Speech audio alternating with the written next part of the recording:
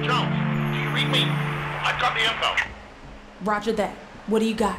Carrington's been arrested by General Standwell. He's being held at Emerald, an isolated army base in the Appalachian Mountains. I still don't know why Standwell wants to keep Carrington away from the Pentagon. And I'm telling you, they're in there.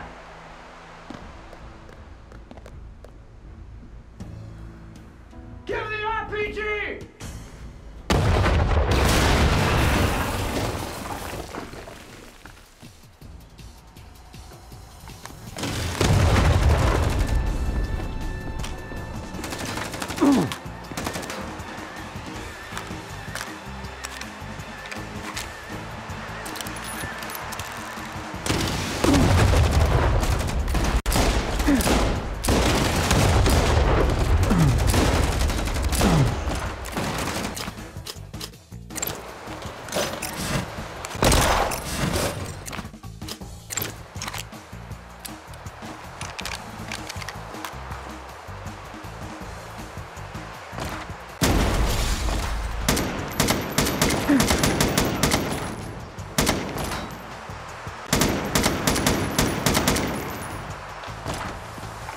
Deactivate